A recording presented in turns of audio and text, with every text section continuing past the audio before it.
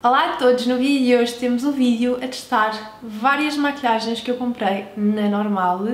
Espero muito que gostem, fiz este look e vamos então ver aquilo que eu experimentei, aquilo que eu gostei, aquilo que eu não gostei e portanto, sem mais demoras, vamos lá começar. Então, vou começar por mostrar-vos tudo aquilo que eu trouxe de maquilhagem e não só da Normal, tenho aqui outras coisas, portanto vou-vos mostrar.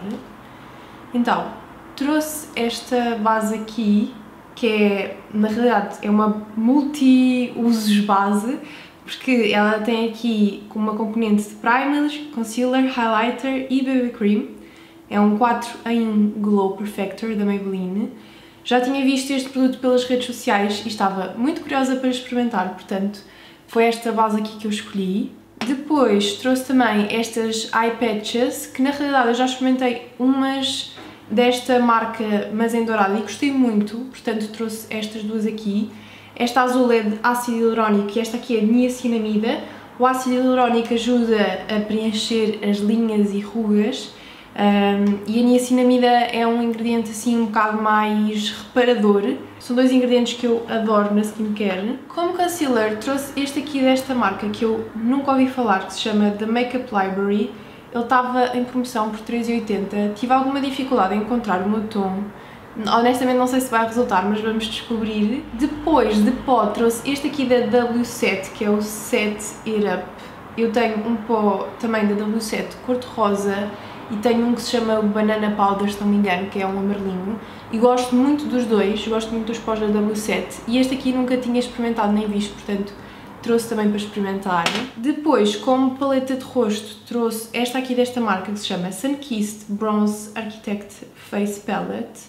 Ela, entretanto, ficou aqui um bocadinho suja, mas ela não estava, eu lembro-me que eu andei lá a escolhê-las, enfim. Uh, mas esta paletinha traz tudo aquilo que eu preciso para finalizar uh, a maquilhagem de pele, portanto o bronzer, o blush e o iluminador. Depois trouxe de paleta de sombras esta aqui da W7, eu tenho uma nude também da W7 e gosto muito, esta aqui com estas cores assim mais primaveris, nunca tinha visto, estou muito curiosa para experimentar, ela chama-se Soft Hues Rose Quartz. Faz-me lembrar um bocadinho as da Huda Beauty. Depois de sobrancelhas também trouxe este produto da W7 que é o Lift and Tint, vamos ver. Trouxe um verniz que achei super giro da W7, nunca experimentei uh, os vernizes da W7, vamos ver. Depois também da W7 trouxe este batom nude e trouxe também dois lip liners, eu não sabia qual é que eu ia gostar mais Uh, e os testes estavam um bocadinho confusos, portanto eu trouxe dois para experimentar e já vejo as cores e qual é que eu quero para o look de hoje. Trouxe as, os tons Moody e Fling. Ah, e o batom é no tom Original. E por último, uh, de maquiagem trouxe estas pestanas postiças.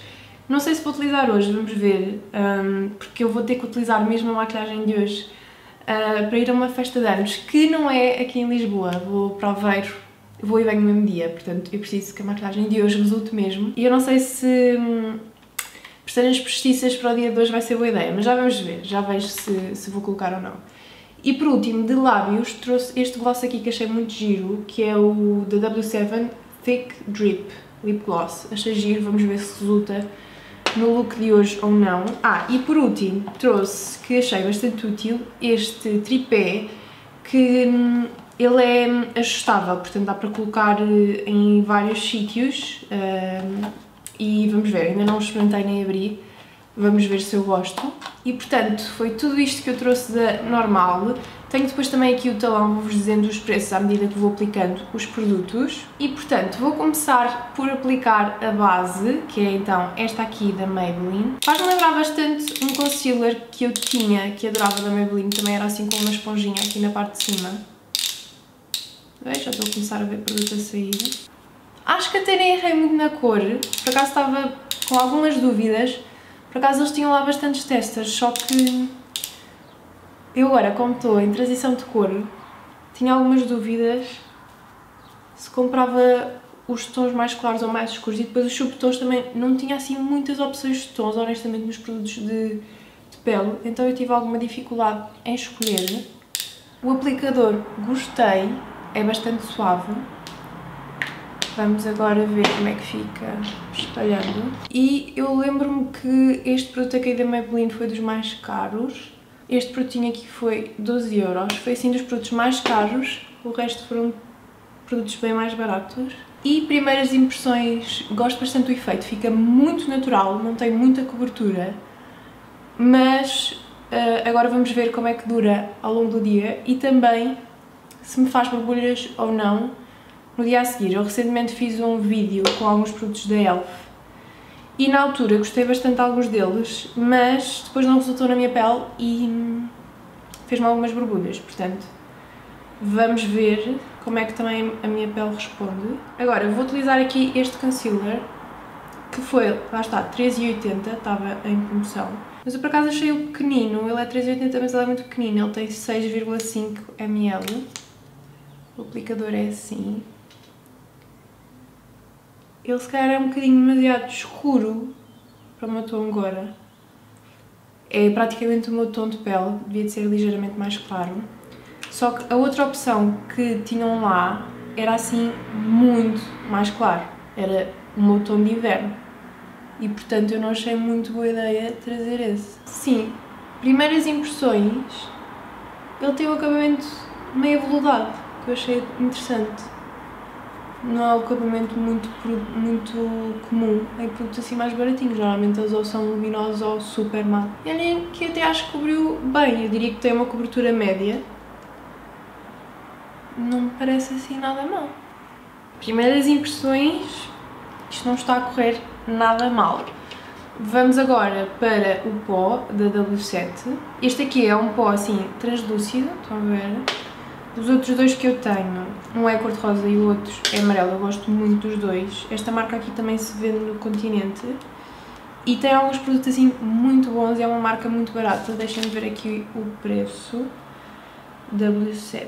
Eu trouxe muitas coisas da W7. Set It Up Finishing Powder. Este pó aqui foi 4,90. Experimentar um pó branco no dia 2. Espero que não hajam fotos com flash, porque senão eu estou com medo que isto reflita e eu pareço um fantasminha, mas vamos, vamos nessa, vamos nessa. Vamos experimentar. Tentar não colocar muito. Aqui, concentrar na zona do corretor de olheiras, que é onde sai sempre a maquilhagem mais rápido. Venho com um pincel mais gordinho. Vou colocar também mais um bocadinho, porque senão também não vai matificar o suficiente e vou então colocar o resto na restante parte do rosto. Primeiras impressões, ele matifica mesmo, deixa a pele bem mate. E tá, agora vamos para a paleta de rosto Sunkissed.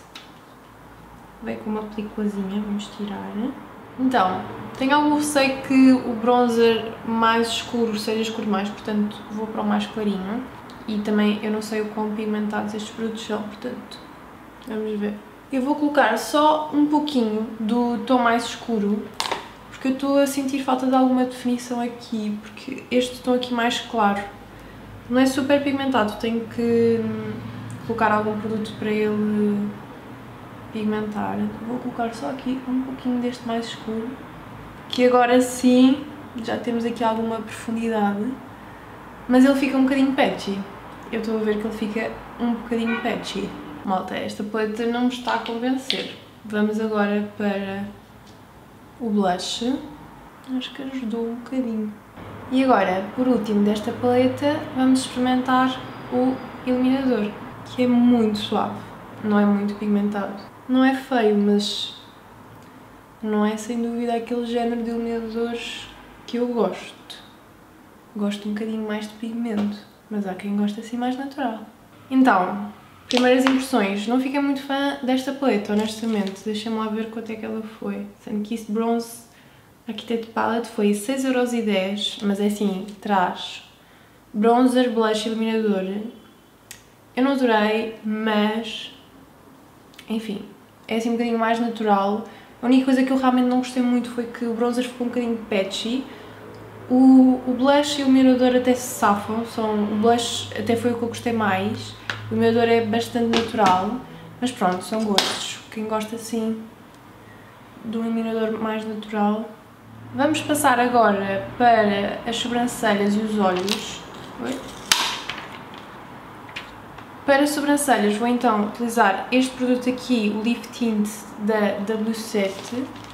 Deixem-me ver quanto é que foi. 2 euros, muito barato.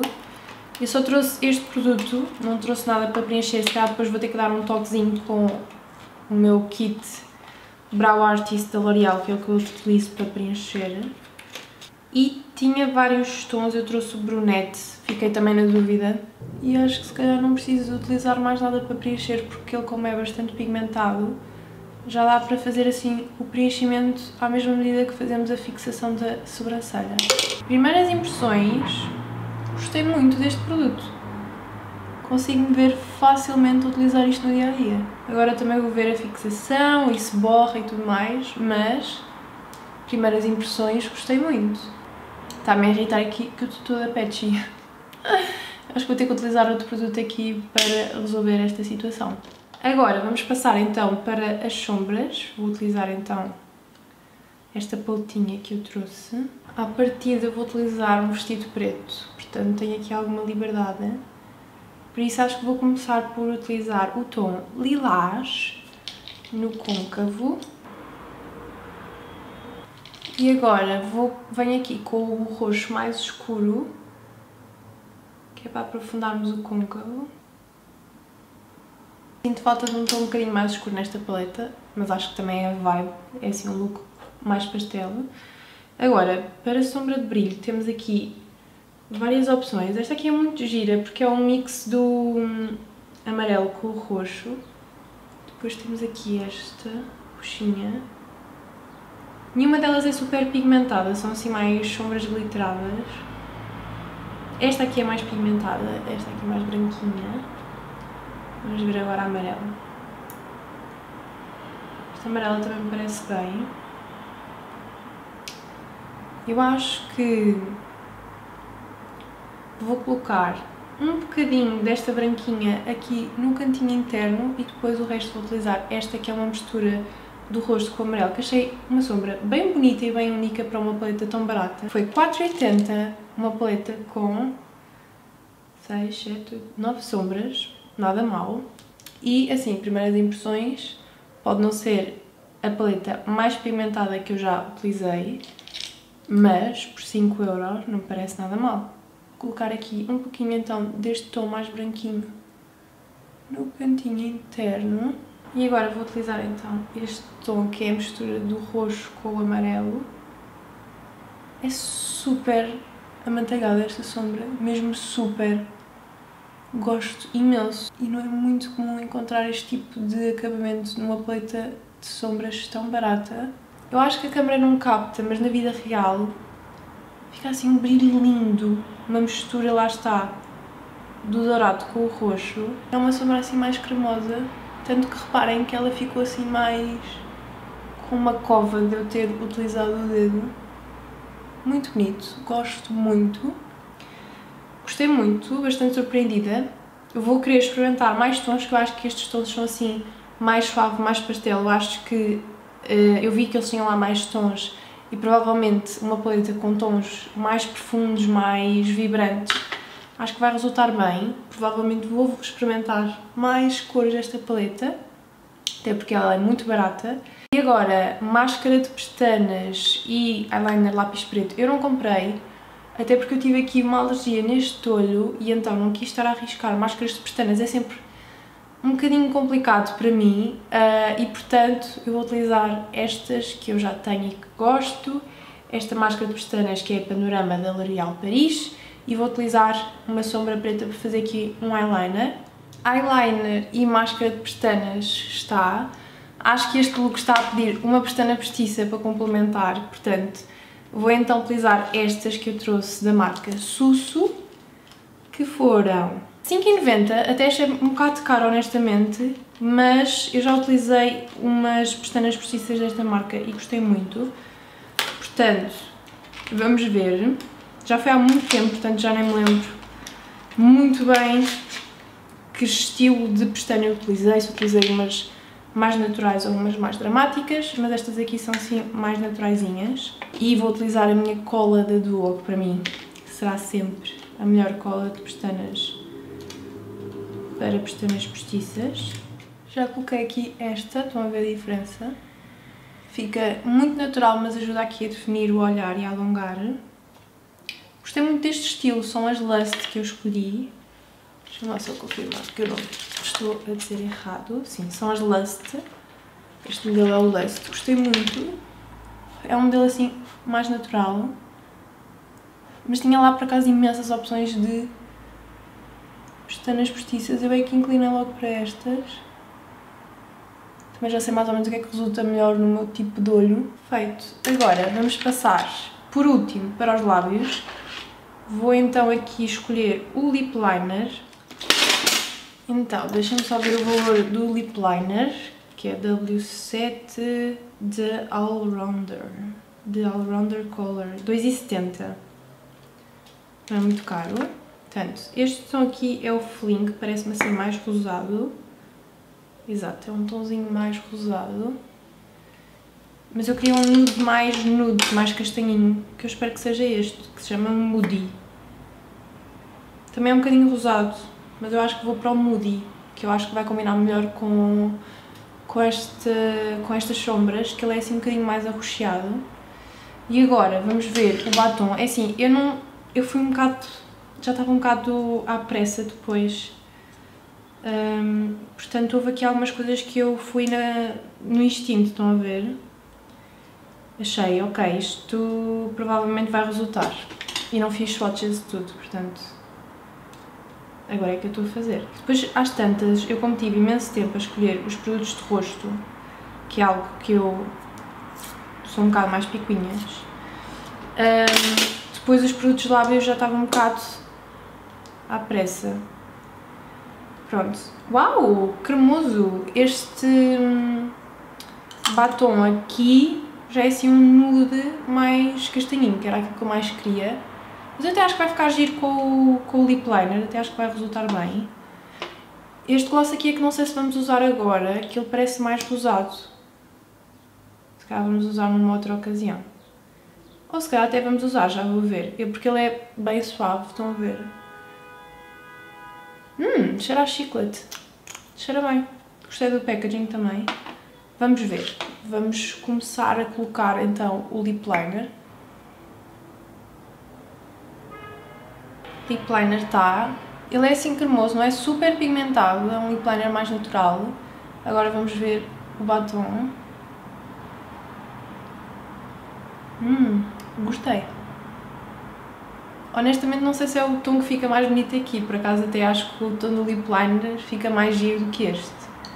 Portanto, eu até acho que vou tirar este batom, tenho que ir buscar um, uma compressa, vou tirar, adorei o batom, o batom é muito cremoso, mas eu acho que não fica nada bem nesta maquilhagem assim mais natural, portanto, eu vou utilizar o lip liner e o gloss, que eu acho que vão ficar mais giros porque tem um tom mais rosado, e acho que liga melhor aqui com a maquilhagem mais lilás. Estou a ver então como é que fica só com o lip liner e com o gloss.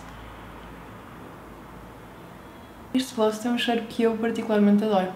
Cheira a pastilha elástica, é um cheiro super doce, quem não gostar. Tenha isso em atenção, eu somente adoro. Eu acho que fica mais bonito assim, acho que fica mais natural do que o outro batom. Portanto, acho que vou utilizar assim. E pronto, eu depois também não comprei fixador, não me lembrei sequer. Mas acho que de forma geral até gostei do look. Acho que este batom não fica 100% bem com este look de olhos, mas enfim, foi o que eu escolhi. Portanto agora vou aceitar. Opiniões gerais, gostei muito deste produtinho aqui da Maybelline, acho que vou utilizar mais vezes, agora tenho que ver como é que a minha pele responde. O concealer gostei também, fiquei bastante surpreendida, não tinha grande expectativa e até me parece bem, bastante natural, bastante para o dia-a-dia. -dia. Não é o que tem mais cobertura, provavelmente não vai ser assim dos meus favoritos todo sempre, mas utilizarei facilmente. De forma geral, produtos da W7 super aprovado, gostei do pó. Acho que gosto mais dos outros que eu tenho, do cor-de-rosa e do amarelinho, que é o banana e acho que é o pink, algo deste género. A paleta gostei muito, acho que vou utilizar uh, ou vou comprar mais tons. A paleta que eu tenho da W7 é em tons assim de terracota e eu gosto muito e utilizo muito no dia a dia, portanto eu consigo me ver facilmente utilizar mais paletas desta marca. Este produtinho de sobrancelhas adorei, super surpreendeu-me e se resultar bem ao longo do dia, acho que vai ser daqueles produtos que eu vou utilizar também muito no dia a dia. Depois, mais o quê? Produtos de lábios. O lip liner não foi assim dos produtos que eu mais gostei, é ok. O batom gostei muito, acho que escolhi um bocado mal a cor, mas gostei bastante. E o lip gloss adorei também, eu adoro este género de gloss assim, docinhos, que dá assim uma hidratação nos lábios. Vamos ver também como é que resulta ao longo do dia, mas primeiras impressões gostei muito. Se calhar até não é o lip gloss que resulta melhor com este género de maquilhagem, mas consigo-me ver muito facilmente a utilizar isto no dia a dia. As pestanas postiças amei, gostei muito, gosto muito deste efeito assim mais natural. E eu acho que é isto. O que é que eu utilizei mais? Ah, o produto que eu gostei menos foi, sem dúvida, esta paleta da marca Sunkissed. Acho que não resultou muito bem. Um, não adorei a fórmula, não é muito amanteigado, é um bocadinho patchy. O blush até foi o produto que eu mais gostei aqui desta paleta mas de forma geral eh, não amei. Mas pronto. E depois as restantes coisinhas, depois também posso partilhar com vocês feedback, por exemplo do verniz ou assim. Um, e é isto. E espero muito que tenham gostado do vídeo. Já sabem, se gostaram, deixem gosto, deixem lá em baixo o vosso comentário. Subscrevam ao canal e ativem as notificações para ficarem a par de todas as novidades. E nós vemos no próximo vídeo. Um grande beijinho. Tchau!